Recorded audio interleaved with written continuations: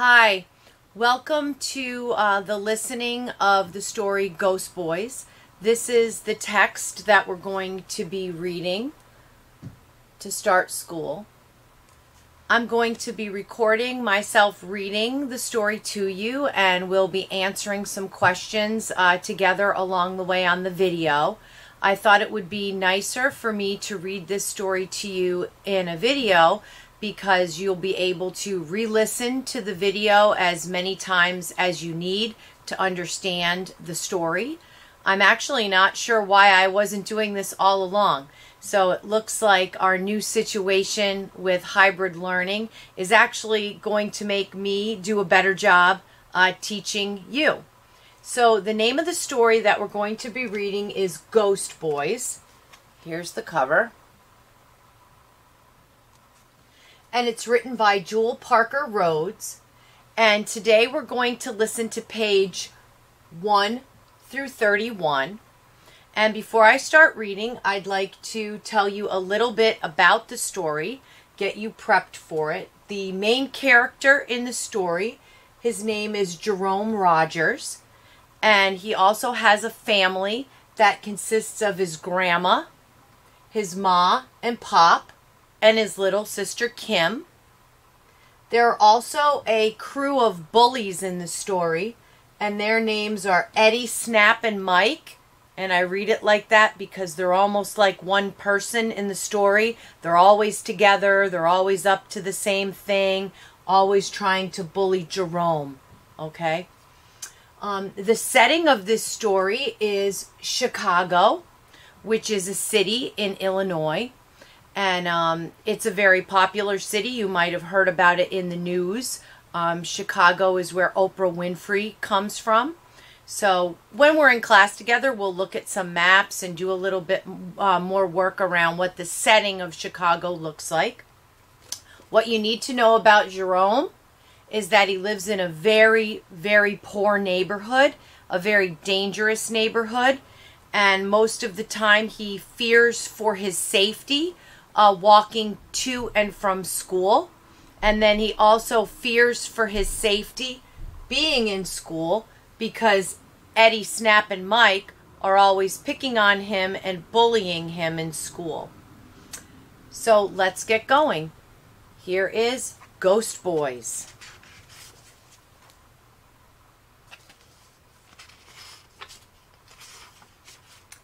This book is dedicated to the belief that we can all do better be better, live better. We owe our best to each child and every child.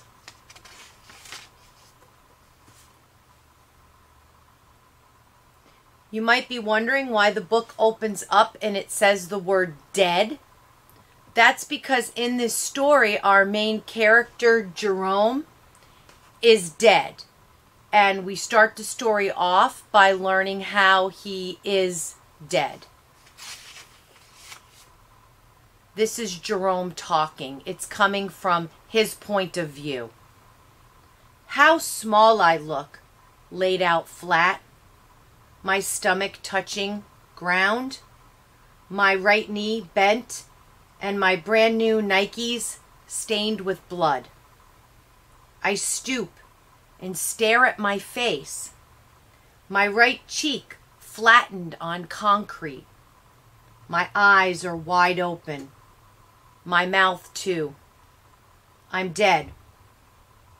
I thought I was bigger, tough. But I'm just a bit of nothing. My arms are outstretched like I was trying to fly like Superman. I'd barely turned sprinting. Pow, pow. Two bullets. Legs gave way.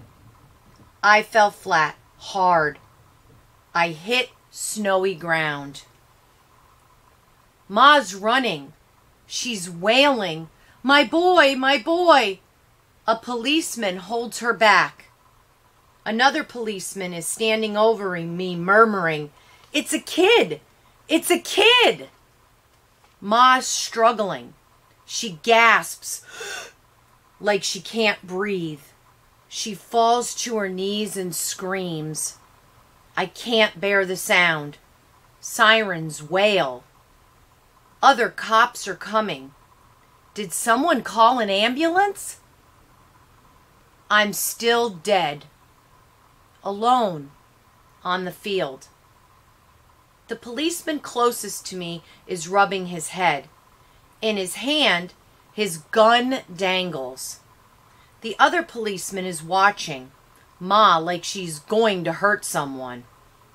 Then he shouts, Stay back! People are edging closer, snapping pictures, taking video with their phones. Stay back! The policeman's hand covers his holster. More people come. Some shout. I hear my name. Jerome! It's Jerome!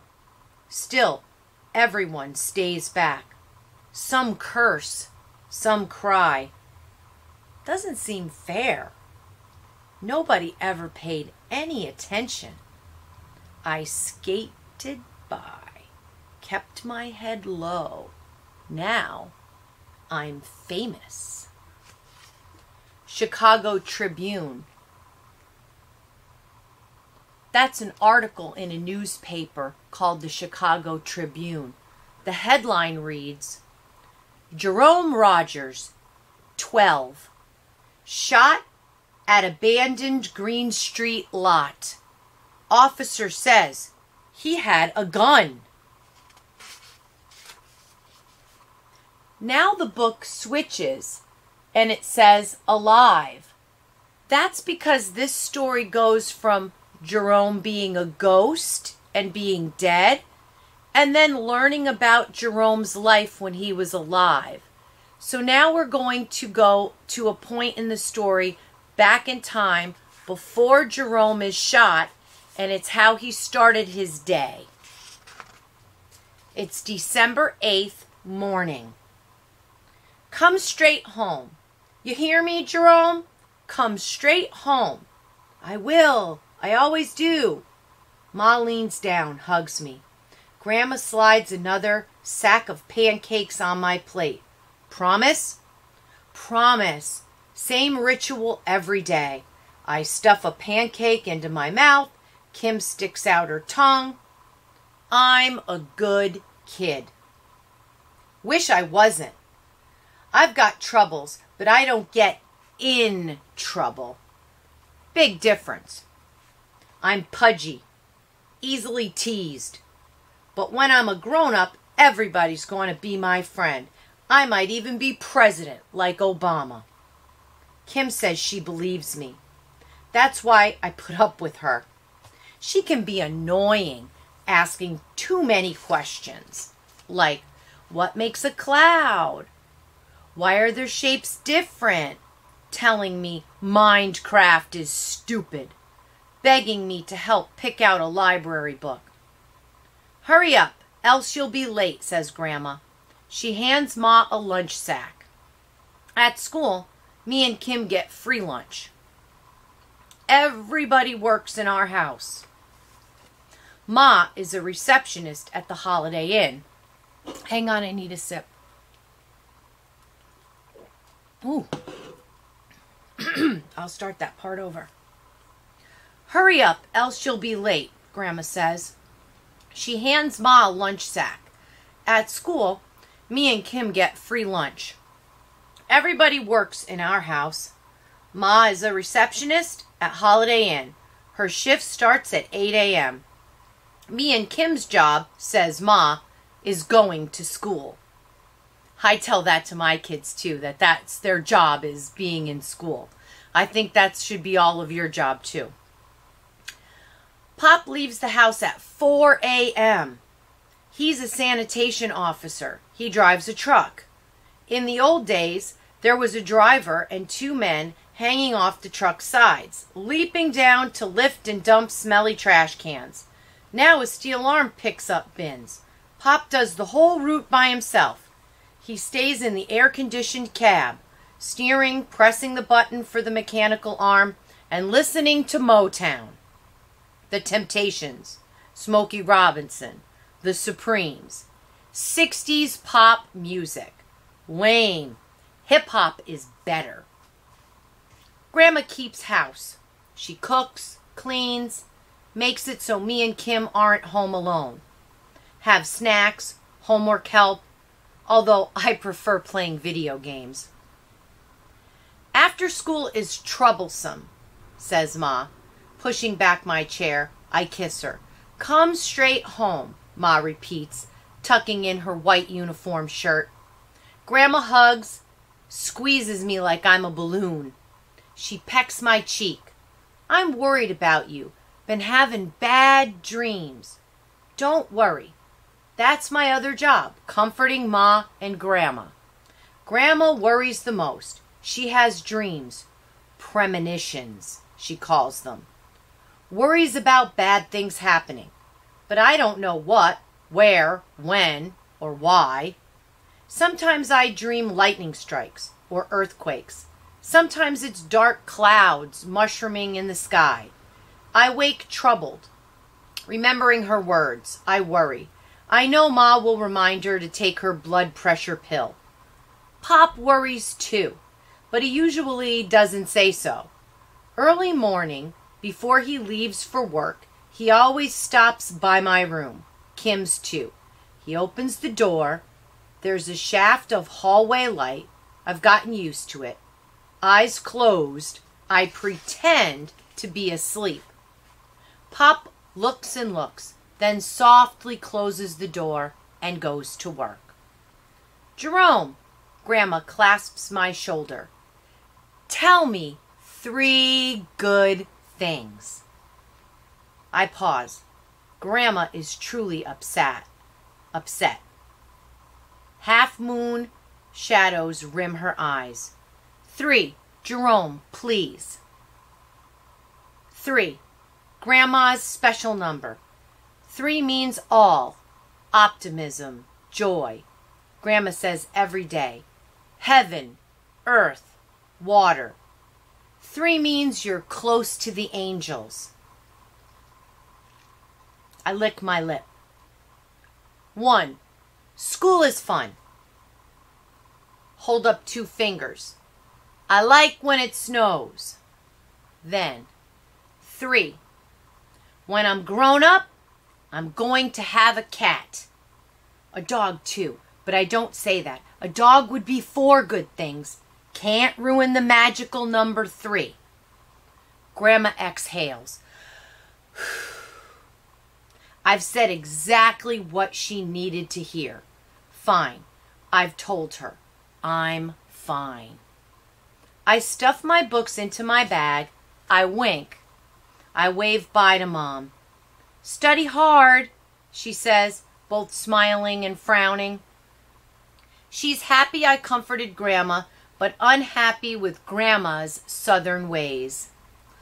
Ma wants me and Kim to be ed-you-cated. She pokes her finger at us when she says you. Ed, you, poke, cated, Jerome. Sometimes the poke hurts a bit, but I get it. Grandma dropped out of elementary school to care for her younger sisters. Ma and Pa finished high school me and Kim are supposed to go to college. Kim is by the front door, backpack slung over her shoulder. Kim's nice, but I don't tell her that. She's bony, all elbows and knees. When she's a teenager, I'll be grown up. Everybody will worry more about her than me. Ma always says, in this neighborhood, Getting a child to adulthood is perilous. I look up the word perilous. Risky. Dangerous. I pull Kim's braid. Frowning, she swats my hand. Can't be good all the time. Later, I take my allowance and buy Kim a book. Something scary, fun. We walk to school. Not too fast like we're running, not too slow like we're daring someone to stop us. Our walk has got to be just right. Green Street isn't peaceful. It isn't green either. Just brick houses, some lived in, some abandoned. Out of work men play cards on the street, drinking beer from cans tucked in paper bags. Eight blocks to travel between home and school. On the fifth block from our house is Green Acres. A meth lab exploded there, two houses burnt. Neighbors tried to clear the debris, make a basketball court. It's pathetic. A hoop without a net. Spray painted lines, planks of wood hammered into sad bleachers. At least somebody tried. Two blocks from school, drug dealers slip powder or pill packets to customers, stuffing cash into their pockets. Pop says, not enough jobs, but it's still wrong. Drugs kill. Me and Kim cross the street, away from the dealers. They're not the worst, though. School bullies are the worst. Bullies never leave you alone. Most days, I try to stay near adults. Lunchtime, I hide in the locker room, the supply closet, or the bathroom. Kim slips her hand in mine. She knows. I'll meet you after school, I say. You always do. She squeezes my palm. You going to have a good day? Yeah, I say, trying to smile, searching the sidewalks for Eddie, Snap, and Mike. They like to dump my backpack, push me, pull my arms, pull my pants down, hit me upside the head. Kim clenches her hand, purses her lips. She's smart for a third grader. She knows surviving the school day is not easy for me. She never tells. Ma, Pop, and Grandma have enough to worry about. They know Kim's popular, and I'm not. But they don't need to know that I'm being bullied. Kimmy! A girl shouts. Kim flashes me a grin. I nod. Then she skips up the school steps, her braids bouncing, as she and Keisha chatter, giggle, crossing left into the elementary school. Middle school is to the right. Yo, Jerome! I look over my shoulder, hugging my backpack closer. Mike's grinning, Eddie and Snap, fists clenched, thug posing, stand by his side. Damn, have to be super careful. During lunch, I'll hide in the bathroom. Maybe they'll forget about me and find another target. I can hope.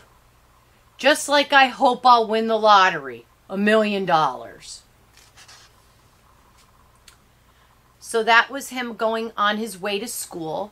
And now the story is switching back to after Jerome has been shot and now he's dead and he's a ghost. Right now, if you're reading along, which I hope, I'm on page 21. Ghost. The apartment is packed. Ma's sisters, Uncle Manny, my cousins, Reverend Thornton. The kitchen table is covered with food. My favorites potato salad, lemon meringue pie, pork chops. If everyone wasn't so sad faced, I'd swear it was a party. I reach for a cornbread square and my hand passes right through it. Weird, but it's okay. I'm not hungry. I guess I'll never be hungry again. I move, circling the table. People don't pass through me. It's like they sense I'm taking up space. Even though they can't see me, they shift, they lean away. I'm glad about that. It's enough being dead without having folks enter and leaving me like Ghostbusters. Ma is in my bedroom, lying on my bed with the orange basketball sheets. A poster of Stephen Curry shooting a ball is taped on the wall. Ma's eyes are swollen. Grandma holds her hand like she's a little girl. I don't feel much, like I'm air touching the furniture or Ma's hand. Maybe that's what happens when you're dead. But seeing Ma crying makes me want to crush, slam something into the ground. Inside me hurts. Outside me feels nothing. I try to touch her. Nothing. Just like the cornbread. Ma shivers. It makes me sad that I can't comfort her. I turn toward the doorway. Kim is reading a book.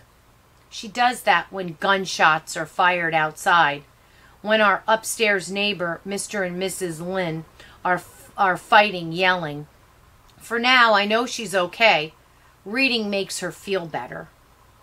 I stand in the doorway, shocked how my room is filled with family, how it isn't my room anymore, isn't my place where I imagine, dreamed of playing college ball, or in the army, diving out of airplanes, or rapping on the radio, or being president. To my right, Pop leans into the corner like he wants to collapse into the space and disappear. His eyes are closed and his arms are folded across his chest. Who will he shoot hoops with or eat hot dogs with while cheering the Chicago Bears? I'm here, I'm here, I rasp. Ma on my bed, curls on her side, Pop's lips tighten. Grandma looks up, searching. I'm still here, Grandma. Her face is a wrinkled mess. I didn't realize it before, but Grandma is really old. She looks up and through me. Her eyes glimmer. She nods. Does she see? Does she see me? Reverend Thornton moves past me. He doesn't realize he's tucking his stomach in and entering the room sideways. Grandma notices. Everybody else thinks it's strange. We should pray, he says. For what? asks Pop. Jerome's not coming back. Ma gasps, sits up. James! We don't know God's will. It's man's will. It's a policeman acting a fool, murdering my boy. Pom, Pop's fist slams the wall. The drywall cracks. I've never seen Pop violent. He's in a better place, says Reverend. Jerome's in a better place. Am I? Ma rocks, her arms crossed over her stomach. Every goodbye ain't gone, says Grandma. Mom, hush with that nonsense, complains Ma. Every black person in the South knows it's true. Dead, living, no matter. Both worlds are close. Spirits aren't gone. Superstition, scoffs Reverend. This is Chicago. Jerome's soul is already gone. I kneel. I'm here, Ma. I'm still here. We'll bury him tomorrow, cries Ma. I want to cry too, though my eyes won't make tears anymore. Sue, I'm going to sue, says Pop. No sense why my boy's dead and those white men are walking around alive free. Emmett. Just like Emmett Till, says Grandma. He was a Chicago boy, too. This isn't 1955, says Reverend, calming. Tamir Rice, then, Pop shouts. 2014. He died in Cleveland. Another boy shot just because he's black. Grandma looks at the space where I'm standing. Her head is cocked sideways. She's breathing soft. No justice, no peace, says Pop. Since slavery, white men been killing blacks. Then he starts to cry. Ma hugs him, and they hold tight to each other like they're both going to drown. My heart shatters. Nothing hurt this much, not even the bullets searing my back. My alarm clock clicks. 12 a.m. Nine hours ago, I was playing in Green Acres. Now, it's a new day. I'm here, but not here. Where's my body? Where do they keep it until it's laid in the ground? Time to wake up. I spin around. Who said that? I leave the bedroom, wandering through the apartment, past eating, crying, praying, searching for who spoke to me. In the kitchen, by the window, I see a brown boy like me. His eyes are black velvet. He's tall as me. His hair short like mine. He stares and stares as if the world has made him so sorry, so sad. Scared, I step backward.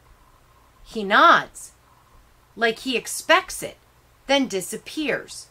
He's not in the kitchen. My hands pass through the glass pane.